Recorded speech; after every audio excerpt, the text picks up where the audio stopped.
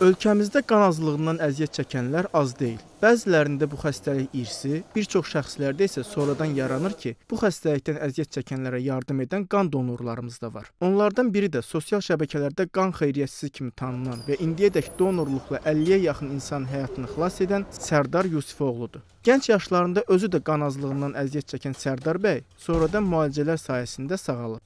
Sərdar bəyin sözlərinə görə qan vermək xeyri iş olmaqla yanaşı, insan sağlamlığına da faydalıdır. Qan Donorlar Assosiasiyasının fəxri donoruyam. Müəyyən proqramlarda biz qan vermə aksiyaları tez-tez təşkil edirik. Bu Qan Donorlar Assosiasiyası bunun fəal təşkilatçılardan biridir və digər təşkilatlar da təbii ki, bu məsələlərdə aktivliyin göstərirlər son illərdə. Mütəmadi olaraq nə qədər biz yaşayırıq, nə qədər varıq və dostlarımıza da, sağlam insanlara da e, tövsiyə eləyirik ki, qan vermədə daim dünyanın hər yerində, həm Azərbaycanda, həm başqa yerlərdə qana ehtiyacı olan insanlara daim yardım göstərmək prioritet məsələ olmalıdır. Çünki biz qan verməsək, qan bankında yetəri qədər qan olmasa, bizim çoxlu sayda qan xəstəliyindən çəkən insanlar var ki, onların həyatı təhlükədə ola bilər. Müsahibim həmçinin deyir ki, bəzən onun qan qrupu ilə donora ehtiyacı olan adamın qan qrupuna uyğun gəlmədiyi məqamlar da olur. Lakin çıxış yolu hər zaman var. Mənim öz qan qrupum 3-cü müsbət 3 olduğu üçün bəzən olur ki, həmin qanı veririk, orada